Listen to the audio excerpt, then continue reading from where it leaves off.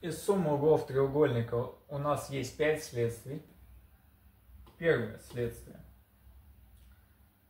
В равностороннем треугольнике все углы равны 60 градусов.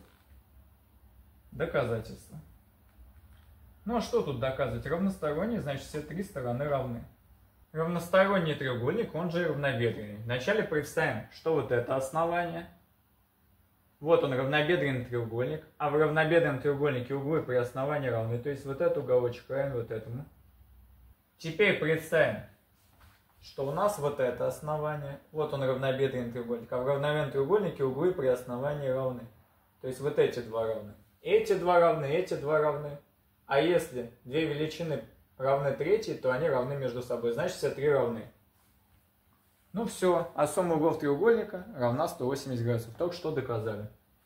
Значит, чтобы найти эти углы, надо 180 градусов разделить на 3. Получится, что каждый из них по 60 градусов.